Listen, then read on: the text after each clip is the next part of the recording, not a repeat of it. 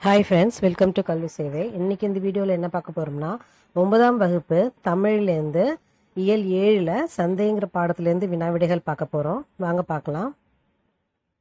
உங்கள் ஊரில் உற்பத்தியாகும் பொருள்களையும் சந்தையில் காணும் பொருள்களையும் ஒப்பிட்டு எழுதுகன்னு சொல்லியிருக்காங்க. விடை வந்து மஞ்சள் சர்க்கரை ஆகியவை எங்கள் ஊரில் உற்பத்தியாகும் பொருள்கள். விரலி மஞ்சள் வெல்லம் கருப்பட்டி நாட்டு சர்க்கரை ஆகியவை சந்தையில் காணும் பொருள்கள்.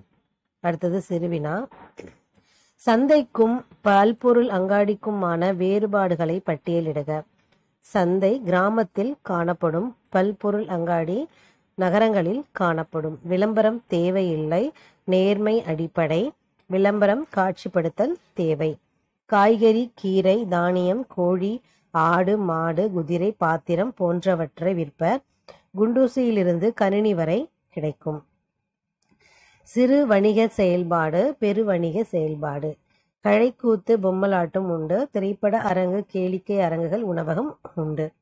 நெடுவினா எங்கள் ஊர் சந்தை என்னும் தலைப்பில் நாளிதழ் செய்தி ஒன்றை எழுதுக. விடை வந்து எங்கள் ஊரில் திங்கட்கிழமை நடக்கும் சந்தை மிகவும் புகழ்பெற்றது. இங்கு சின்னஞ்சிறு ஊசி முதல் சிங்கார ஆடைகள் வரை அனைத்து பொருட்களும் உள்ளன. அனைத்து வகையான கீரைகள் தானியங்கள் தனித்தனியே பெரிய கடைகளைப் போன்று விற்கப்படுகின்றன. பூச்சிக்கொல்லிகள் பயன்படுத்தாத இயற்கை காய்கறிகள் பழங்கள் மட்டுமே இங்கு விற்கப்படுகின்றன. வண்ண வண்ண பூக்களும் வாசனை மலர்களும் ஏராளம். அதனை வாங்கும் மகளிர் கூட்டம் தாராளம்.